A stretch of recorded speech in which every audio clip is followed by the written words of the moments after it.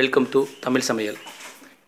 இந்த வீடியோவில் meal maker குழம்பு வைப்பது எப்படின்னு சொல்லி பார்க்க போகிறோம் அதுக்கு தேவையான பொருள் இந்த மாதிரி பார்த்திங்கன்னா இப்போ இது வந்து மீல் மேக்கர் எடுத்துருக்கோம் சின்ன சைஸ் மீல் மேக்கர் இது. அதே போல் வந்து ஏன்னு கேட்டிங்கன்னா நம்ம வந்து குழம்பு வைப்பதற்கு சின்னதாக இருந்தால் பெருசு வந்து கிரேவி அந்த மாதிரி வைக்கும்போது பயன்படுத்தினா நல்லாயிருக்கும். இது சின்ன சைஸ் மீல் மேக்கர் வெங்காயம் பார்த்திங்க அப்படின்னா ஒரு சிறிதளவு எடுத்துக்கோங்க. தக்காளி இரண்டு எண்ணம் எடுத்துருக்கோம். வெள்ளைப்பூடுன்னு வந்து நம்ம அதிகமாக எடுத்துக்கிறது நல்லதான் குழம்புல பார்த்தீங்கன்னா வந்து கிட்டத்தட்ட வந்து நம்ம கறி குழம்பு வைப்பது போல் தான் இப்போ மீல் மேக்கர் குழம்பு வந்து அதே டேஸ்ட்டில் தான் இருக்கும். சரிங்களா? அதனால் சின்ன வெங்காயம் தக்காளி வெள்ளைப்பூண்டு. இதில் வந்து பார்த்திங்கன்னா நீங்கள் மிளகு சீரகம் இது வந்து பார்த்திங்கன்னா நிறையா எடுத்துக்கோங்க. இதுதான் வந்து பார்த்திங்கன்னா நம்ம வந்து மீல் மேக்கர் குழம்பு வைப்பதற்கு தேவையான பொருள். அதாவது பார்த்திங்கன்னா கறி குழம்பு போல் மீன் மேக்கர் குழம்பு வைப்பதற்கு தேவையான பொருள். இதை பயன்படுத்தி எப்படி கறி குழம்பு போல் மீன் மேக்கர் செய்வதுன்னு சொல்லி பார்க்கலாம். கருவேப்பிலை எடுத்துங்க இப்போ அடுத்தாப்புல நம்ம வந்து பொருட்கள் எல்லாமே ரெடி பண்ணியாச்சு. நம்ம இந்த ஜீரகம் மிளகு வெள்ளை பூண்டு. இந்த பூண்டு மூணையும் சேர்த்து பார்த்தீங்க அப்படின்னா நீங்கள் வந்து அரைச்சி தனியாக எடுத்து வச்சுக்கணும். ஒரு பேஸ்ட் டைப்பில் நீங்கள் எடுத்து வச்சுக்கணும். சரிங்களா? மிளகு ஜீரகம் பூண்டு. இது மூணையும் நீங்கள் பேஸ்ட் மாதிரி எடுத்து வச்சுக்கணும். அதே போல் நீங்கள் அந்த மீல் மேக்கர் இருந்து பார்த்தீங்களா? அதை வந்து நம்ம சுடுதண்ணியில் வச்சு வேக வச்சு இந்த மாதிரி எடுத்து வச்சுக்கணும். வெந்ததுக்கப்புறம் நீங்கள் நார்மலாக தண்ணியில் வச்சு நம்ம அலசி தனியாக எடுத்து வச்சுக்கணும். இந்த சுடுதண்ணியில் வேக வச்சு அதுக்கப்புறம் இந்த மாதிரி மீல் மேக்கர் வந்து நம்ம சுடுதண்ணில் வேக வச்சு நல்லா பிழிஞ்சு எடுத்து வச்சுக்கோங்க. அதுக்கப்புறம் வந்து தேங்காய் இந்த மாதிரி சில்லு சில்லாக நறுக்கி வச்சு இதை வந்து நம்ம அரைச்சி எடுத்துக்கணும். கடைசியாக வந்து நம்ம சேர்க்கும் போது குழம்பு. கிட்டத்தட்ட பார்த்திங்கன்னா வந்து இது மட்டன் குழம்பு வைப்பது போலே தான் ருசி இருக்கும். இதுக்கு வந்து பார்த்திங்கன்னா மட்டன் பொருள் நம்ம மீல் மேக்கர் சேர்த்து பண்ணக்கூடும் சரிங்களா? அவ்வளோதான் இப்போ தேவையான பொருள் பார்த்தாச்சு. நம்ம வந்து அதுமாதிரி பெப்பர் பொடி இதெல்லாம் வந்து அரைச்சி அதாவது மிளகு மிளகு ஜீரகம் வெள்ளைப்பூண்டு அதெல்லாம் அரைச்சி தனியாக பேஸ்ட் எடுத்துக்கோங்க இதேமாதிரி தேங்காவையும் அரைச்சி தனியாக எடுத்து வச்சுக்கோங்க. சரிங்களா? இதை பயன்படுத்தி எப்படி பண்ணுறோன்னு பார்க்கலாம். இந்த மாதிரி வடச்சட்டி வச்சு காய வச்சு நமக்கு தேவையான அளவு எண்ணெய் சேர்த்துங்க எண்ணெய் ஓரளவுக்கு கொதி வந்ததுக்கப்புறம் பட்டை வகைகள் கல்பாசி இதெல்லாம் வந்து சேர்த்து ஆட் பண்ணுங்கள் ஃபஸ்ட்டு எண்ணெய் நல்லா காய வச்சு பட்டை வகைகள் கல்பாசி அது மாதிரி கிராம்பு இதெல்லாம் கேட்டிங்கன்னா கொடுப்பாங்க. அதை நீங்கள் கடையில் நமக்கு மொத்தமாக கொடுப்பாங்க. அதனால் நீங்கள் அதை போட்டு நமக்கு வந்து எடுத்து கொதிக்க வச்சுங்க. சோம்பு சோம்பு நல்லா அந்த மாதிரி வெடிச்சு வந்ததுக்கப்புறம் நறுக்கி வச்சுருக்க வெங்காயம்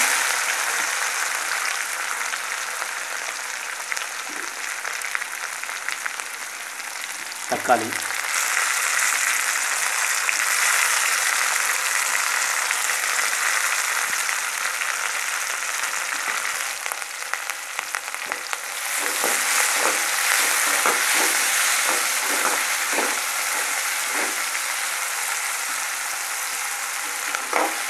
நல்லா வதங்குற அளவுக்கு வதக்கணும்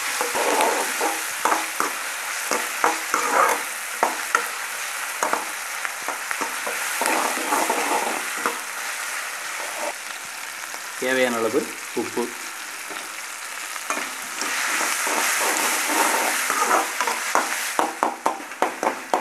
அதாவது பார்த்திங்கன்னா கொஞ்சம் எண்ணெய் நம்ம நிறையா ஊற்றி இந்த அளவுக்கு வதக்கினா தான் நல்லா ஒரு குழம்பு வந்து ஒரு டேஸ்ட்டாக இருக்கும். இந்த அளவுக்கு நமக்கு வதங்கினதுக்கப்புறம் நம்ம ஏற்கனவே அரைச்சி வச்சுக்கணும் பார்த்தீங்களா பூண்டு மிளகு ஜீரகம் அந்த பேஸ்ட்டை நீங்கள் சேர்த்துக்கணும்.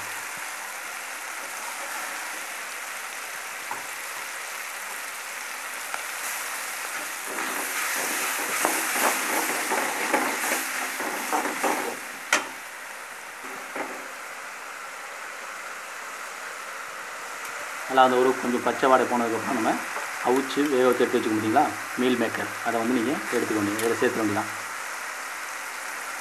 இதில் வந்து பார்த்திங்கன்னா நம்ம வந்து சேர்க்கக்கூடிய பொருட்கள் அதாவது பார்த்திங்கன்னா மெ மெயினாக வந்து அதான் நீங்கள் பார்க்கணும்.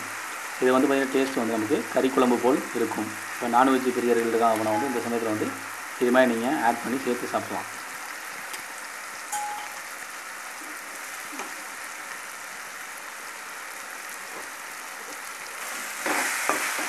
ஃபுல்லாக நம்ம அந்த மீல் மேக்கரை ஆட் பண்ணதுக்கப்புறம் மசாலா ஃபுல்லாக சேர்கிற அளவுக்கு நல்லா வேக வச்சு கிண்டிடுங்க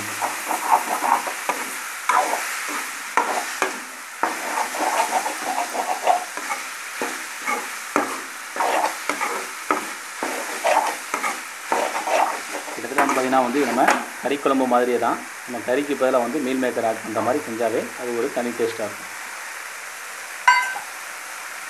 மிளகாப்பொடி தேவையான அளவு சேர்த்துக்கங்க. இப்போ பார்த்திங்கன்னா நம்ம வந்து வீட்டில் இருக்க மிளகாப்பொடி நம்ம சேர்த்துக்கணும் உங்களுக்கு காரத்தக்கன எவ்வளோ சேர்க்கணும் சேர்த்துக்கணும் மீல் மேய்த்தருக்கு கொஞ்சம் நல்லா காரமாக இருந்தால் நல்லா பார்க்கும்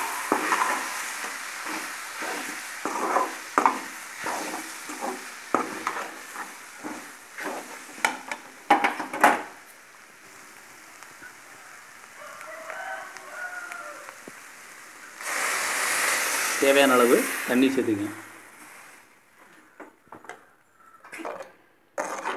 அவ்வளோதான் இப்போ நம்ம சேர்க்க தேவையான பொருள் எல்லாம் சேர்த்தாச்சு. நம்ம வந்து குழம்பு குழம்புக்கு தேவையான பொருள் சேர்த்து தண்ணியெல்லாம் சேர்த்தாச்சு. இதை நீங்கள் வந்து நல்லா வேக வச்சு எடுத்தால் நமக்கு தேவையான சுவையான மீல் மேக்கர் குழம்பு ரெடி ஆயிரும். அதே மாதிரி அரை கடைசி வந்து நீங்கள் இறக்க போகிறதுக்கு ஒரு ரெண்டு நிமிஷம் மூணு நிமிஷத்துக்கு முன்னாடி வந்து நீங்கள் தேங்காய் அரைச்சி ஊற்றணும் அதை மறந்துடாதீங்க. இப்போ இந்த அளவுக்கு நம்ம வந்து குழம்பு கொஞ்சம் ஒத்துனதுக்கப்புறம் தேங்காய் அரைச்சி வச்சுக்கிங்க சில்லு எடுத்து எடுத்துக்கிங்க தேங்காய் சில்லு. அதை வந்து நீங்கள் தேங்காய் வந்து ஆட் பண்ணுங்கள் ஏற்கனவே முன்னாடி மறைச்சி வச்சோம்னா ஈஸியாக இருக்கும். அரைச்சி வைக்கும் அதாவது மீல் மேக்கர் குழம்பு வந்தீங்கன்னா மட்டன் டேஸ்ட்டில் இருக்கணும் அப்படின்னா வந்து இதே மாதிரி நீங்கள் ஃபாலோ பண்ணி பாருங்கள் இது மாதிரி நம்ம கொஞ்சம் நல்லா வேக வச்சுக்கிட்டோம்னா இதே நீங்கள் உங்களுக்கு சாப்பாடு வந்து சூடாக சாப்பிட்டீங்க அப்படின்னா நல்ல ஒரு மட்டன் டேஸ்ட் இருக்கும். இதே போல் நீங்களும் உங்களுடைய ஒரு முறை செய்து பார்த்து எப்படி இருந்துச்சுன்னு உங்களுடைய கருத்துக்களை கமெண்ட் செக்ஷனில் பதிவிடுங்க. இந்த வீடியோ பிடிச்சிருந்தா லைக் பண்ணுங்கள் முடிந்தவரை இந்த வீடியோவை அனைவருக்கும் ஷேர் பண்ணுங்கள் மறக்காமல் நம்ம சேனல் சப்ஸ்கிரைப் பண்ணுங்கள் பக்கத்தில் இருக்க பெல் சிம்பிளையும் ப்ரெஸ் பண்ணுங்கள் அப்போ தான் நம்ம அடுத்து அப்டேட் பண்ணக்கூடிய சமையல் வீடியோலாம் உங்களுக்கு ஒரு நோட்டிஃபிகேஷன் வரும். அதாவது மீன் மேக்கர் மட்டன் குழம்பு டேஸ்டில் வந்து செய்வது எப்படின்னு பார்த்துக்கோம் தேங்க்யூ ஃபார் வாட்சிங் இது வந்து பார்த்திங்கன்னா நம்ம தேங்காய் ஊற்றும் கூட ஒரு அஞ்சு நிமிஷம் வேக வச்சு இறக்குங்க. தேங்க்யூ ஃபார் வாட்சிங்